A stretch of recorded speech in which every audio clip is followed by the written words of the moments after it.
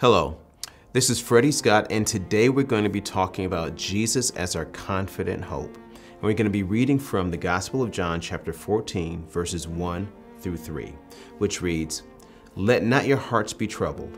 Believe in God, believe also in me. In my Father's house are many rooms. If it were not so, would I, would I have told you that I go to prepare a place for you?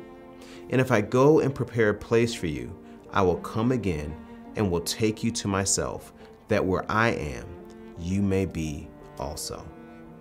What I love about this passage is that it reveals not only what Jesus is doing right now, but also what Jesus is planning to do in our future.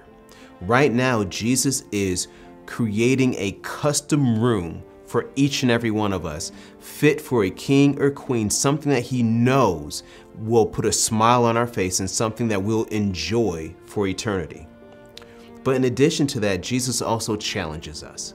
He says, believe in God, believe also in Jesus. If you believe in God, believe also that what Jesus has done, if we believe that God so loved the world that he sent Jesus, then we should also believe that Jesus, the one that God sent, not only is preparing a place for us, but is also preparing to be reunited with us and is coming again, that where he is, we may be also.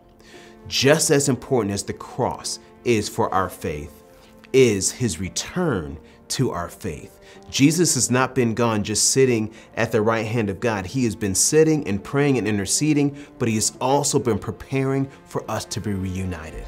Let's have a confident hope that what Jesus has done and is doing is something that is worth the wait.